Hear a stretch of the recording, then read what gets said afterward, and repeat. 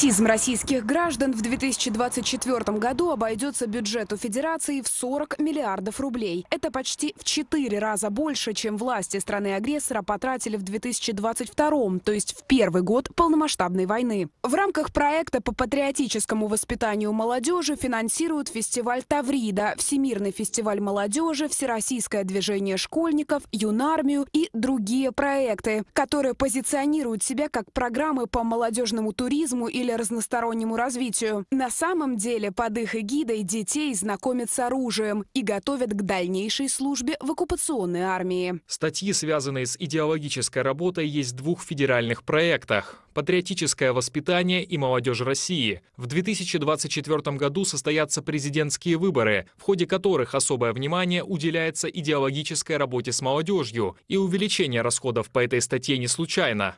Из публикации издания «Верстка» со ссылкой на собеседника, близкого Госдуме РФ. Особенно активную идеологическую работу россияне проводят на временно оккупированных украинских территориях. Под предлогом перевоспитания они лишают украинских детей идентичности. Все дети, которые учатся в общеобразовательных школах по программам Российской Федерации, обязаны проходить эту военную подготовку. Так э, нас ужаснул этот список, да, перечень приобретаемого для детей в школах. Это и автоматы Калашникова, и патроны к ним, и боеприпасы.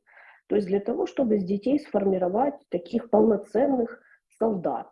И все это подкрепляется, конечно же, идеологической обработкой. В 2024 году на оборону, а точнее на войну против Украины, российское правительство планирует потратить около 110 миллиардов долларов. Это почти треть общих государственных расходов Федерации. К тому же сумма на две трети превышает аналогичные траты в 2023 году. У Путина есть два приоритета – война и власть. Вот почему бюджетный процесс сейчас работает таким образом, что политики сначала следят за тем, чтобы хунта получила то, что ей нужно для войны, а затем обращаются к остальному бюджету. И для этого они постоянно ищут новые источники, чтобы наскрести денег. Из публикации издания Financial Times. Расходы на пенсии и социальные выплаты в следующем году также будут рекордными. Но в условиях санкций, оттока иностранного капитала и падения цен на энергоресурсы заработать столько, сколько Россия запланировала, ей едва ли удастся. Бюджет нереалистичен, говорят экономисты. На бумаге концы с концами сходятся только за счет манипуляций и подтасовок. А в реальности масштабное вливание в социальную сферу – это не больше, чем попытка задобрить избирателей в преддверии преддверии президентских выборов. Выплаты, которые там предусмотрены, они экономически не обоснованы.